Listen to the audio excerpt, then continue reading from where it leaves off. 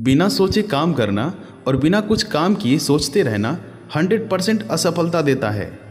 जब भी आपको लोग बोलने लग जाएँ कि आप पागल हो गए हो तो आप समझ जाना आप सही रास्ते पर हैं। सीखते रहना, जो सीख रहा है वो ज़िंदा है, जिसने सीखना बंद किया वो ज़िंदा लाश है। सक्सेस एक्सपीरियंस से आती है और एक्सपीरियंस बैड एक्सपीरियंस से आता है। जिस नज़र से आप इस दुनिया को देखेंगे, ये दुनिया भी बिल्कुल आपको वैसी ही दिखेगी। आप जो सोचते हैं, वो आप बन जाते हैं। अगर आप उस इंसान की तलाश कर रहे हैं, जो आपकी ज़िंदगी बदलेगा तो आईने में जाकर खुद को देख लें। अगर आपके पास ज़रूरत से ज़्यादा है तो उसे उनसे शेयर कीजिए, जिन्हें इसकी सबसे ज़्यादा ज़रूरत है। सफलता हमेशा अकेले में गले लगाती है, लेकिन असफलता हमेशा आपको सबके सामने तमाचा मारती है। यही जीवन है। अच्छा बोलो अच्छा सुनो और अच्छा देखो। किसी भी काम में अगर आप अपना 100 परसेंट देंगे तो आप सफल हो जाएँगे। जब हम बोलते हैं, आसान है, और जवाब मांगते हैं तो जवाब मिल जाता है। जो मन करे, खुल के करो, क्योंकि ये दिन दोबारा नहीं आने वाला। सीखो सबसे, लेकिन फॉलो किसी को मत करो।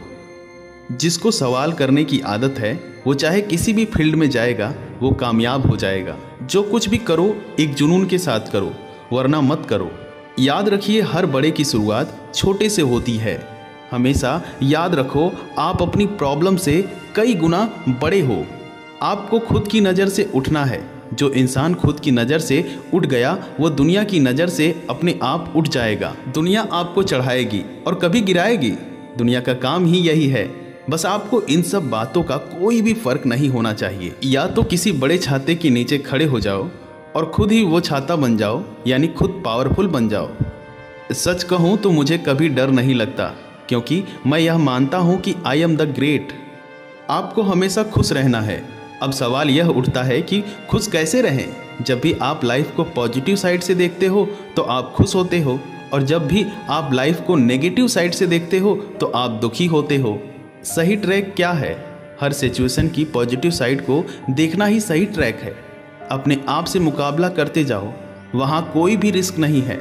हारे तब भी आपकी जीत है और जीते तब भी। बाकी सब मर जाता है, लेकिन वो इंस्पिरेशन नहीं मरती, जो अंदर ही अंदर जलती रहती है। इस दुनिया में डिज़ायर से बड़ी निर्माणकारी पावर और कोई नहीं है। जितना आप बुराई को देखोगे, उतना दुखी होगी। और जितना आप दुखी होगे, उतना ही दूसरों को दुखी करोगे। दुनिया को आप तब तक नहीं बदल सकते, जब तक आप खुद को नहीं बदलोगे। इस दुनिया में मैजिक नाम की कोई चीज़ नहीं है, सिर्फ़ खेल है। जिसमें रुचि है, वो करो। जब आपको पता है कि इस रेस में आप ज़रूर हारेंगे तो उस रेस में भाग ही क्यों लें? या तो अपने दिमाग को कंट्रोल करो, नहीं तो यह तुम्हें कंट्रोल करेगा। कामयाबी अनुभव से आती है और अनुभव गालियों से यानी खराब अनुभव से। हर एक के अंदर कोई ना कोई शक्ति है, जो इस पूरी दुनिया में किसी में नहीं है। बस तुम्हें उस शक्ति को जानना है। आपकी विल पावर के आगे दुनिया की कोई भी ताकत टिक नहीं सकती। हमेशा लर्निंग पर फोकस करो। अर्निंग पर नहीं, अर्निंग तो हमेशा फ्यूचर है और लर्निंग हमेशा प्रेजेंट मोमेंट पर होती है। जिस व्यक्ति का डिज़ायर जितना अधिक बड़ा होगा उसकी सक्सेस भी उतनी ही अधिक बड़ी होगी। केवल इच्छा से कुछ भी परिवर्तन नहीं होता है।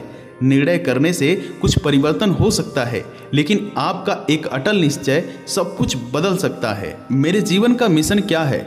इंडिया के अंदर और पूरे संसार के अंदर अनलिमिटेड लीडर्स खड़ा करना। हमें अपनी सोच बदलनी है कि यदि हमारा बच्चा टॉप कॉलेज में एडमिशन पा लिया तो उसकी ज़िंदगी बन गई, और यदि एडमिशन नहीं मिला तो उसकी लाइफ बिगड़ गई। अगर मेरे जैसा न बोलने वाला दब्बू लड़का अगर स्टेज पर जाकर बोल सकता है तो दुनिया का कोई भी व्यक्ति कुछ भी कर सकता है। जब आपको ऐसी चीज़ों की खोज करनी है, जो आज तक किसी ने नहीं किया, जब यह डिज़ायर आप में पनप जाए तो फिर आपको कुछ नहीं करना पड़ेगा। वो आपका डिज़ायर ही आपको इस काम में लगा देगा। आज जो कुछ भी हूँ, अपनी असफलताओं की वजह से हूँ। गिर गए तो क्या हुआ? गिरता भी वही है जो चलता है। बस आपको इतना करना है कि उठकर फिर से चलना है। ये आपकी ज़िंदगी एक के बाद एक बाल के रूप में अवसर देती है। यदि एक बाल, यानी अवसर छूट भी जाए तो हमारा ध्यान आने वाले दूसरे अवसर, यानी दूसरे बाल पर होनी चाहिए। चाहे तालियाँ मिले या फिर गालियाँ, इससे क्या फ़र्क पड़ता है? फिर चाहे सक्सेस मिले या फिर फेलियर क्या फ़र्क पड़ता है? क्या फ़र्क पड़ता है? बस आप अपना काम करते जाइए, क्योंकि कोई भी काम छोटा या बड़ा नहीं होता। ये सभी विचारधारा संदीप माहेश्वरी जी के हैं।